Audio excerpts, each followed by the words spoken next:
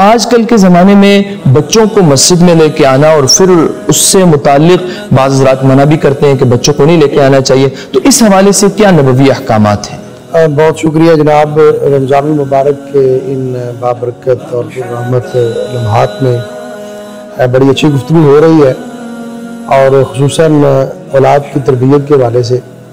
तो मैं इससे ये समझता हूँ कि इस्लाम ने और पैगंबर इस्लाम अलैहि वसल्लम ने हर मामले में हमारी रहनुमाई फरमाई।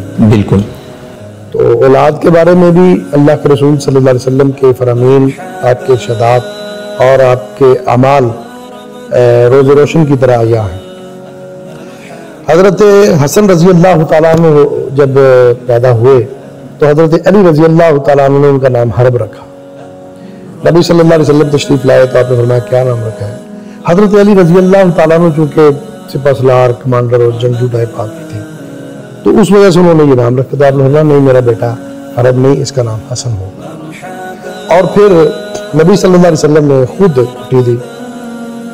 और हज़रत हसन रज़ी अल्लाह तआला अन्हु और हज़रत हुसैन रज़ी अल्लाह अन्हु की जितनी तरबियत है, वो गोद फातिमा रज़ी अल्लाह अन्हा के बाद गोद नबी में हुई।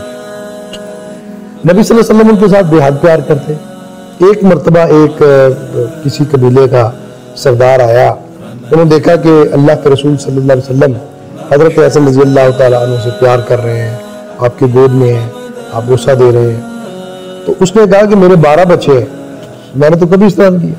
तो आपने फरमाया कि अगर अल्लाह ने तेरे दिल में औलाद की मोहब्बत नहीं डाली तो मैं क्या कर सकता यहाँ तक रसूलुल्लाह सल्लल्लाहु अलैहि वसल्लम बच्चों का ख्याल करते और उनको अहमियत देते।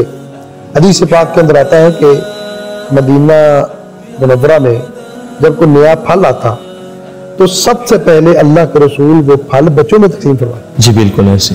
ये इस बात का ये सारी चीज़ें हैं कि इस्लाम की नज़र में और नबी करीम सल्लल्लाहु अलैहि वसल्लम की नज़र में बच्चों की बड़ी अहमियत है। उसकी वजह क्या है? इसलिए कि बच्चे जो है वो हमारा मुस्तकबिल है। बच्चे ही हमारा सरमाया है। अब जिन मस्जिदों के अंदर बच्चों की रौनक नहीं है, उन मस्जिदों का मुस्तकबिल इतना रोशन नज़र नहीं आता। और ये बात याद रखें, और ये बात तजर्बे में भी आई है, मुशादे में भी आई है, कि जिन मसाजिद में बच्चों की रौनकें हैं, और बच्चों का बहुत ज़्यादा वहाँ पर आना जाना है, मुस्तकबिल के अंदर है वहाँ पर बड़े नमाजियों की तादाद बढ़ती है। बड़े नमाजियों की तादाद में इजाफा होता है। हमारे यहाँ ये है कि बाज़ मसाजिद के अंदर कोई बच्चे आते हैं, कुछ शोर करते हैं, कुछ शरारतें करते हैं।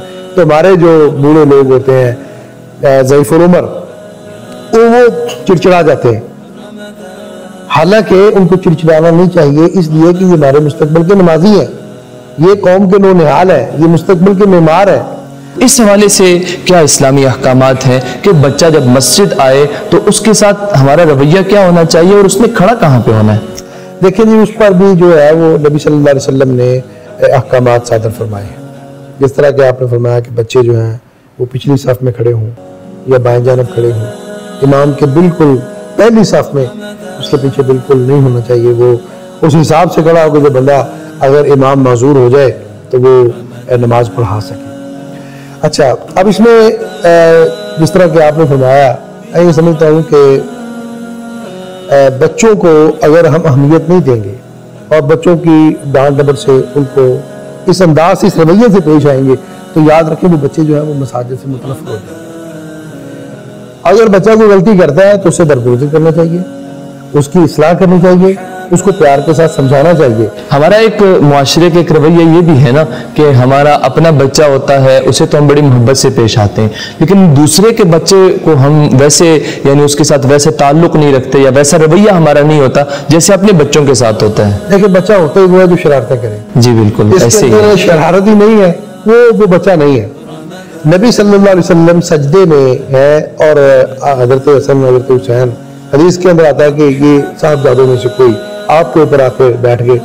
और नबी सल्लल्लाहु अलैहि वसल्लम ने सजदा लंबा कर दिया। बिल्कुल लंबा कर दिया। आपने डांटा नहीं छिड़का नहीं उनको फेंका नहीं सजदा लंबा कर जुम्मे का खुतबा उनके लिए जुम्मे का खुतबा उनके लिए रोक दिया। कर दिया और खुद तशरीफ़ ले गए जूतों पर जहाँ पर हज़रत हसन गिरे हुए थे उनको उठाया गोद में बिठाया और अपने साथ खड़ा करके आपने जो है वो खुद इरशाद फरमाया। तो ये सारी चीज़ें इस बात का ये बाबर करवाती हैं कि हमें बच्चों के साथ प्यार करना चाहिए उनके साथ शफकत करनी चाहिए, उनको अहमियत देनी चाहिए।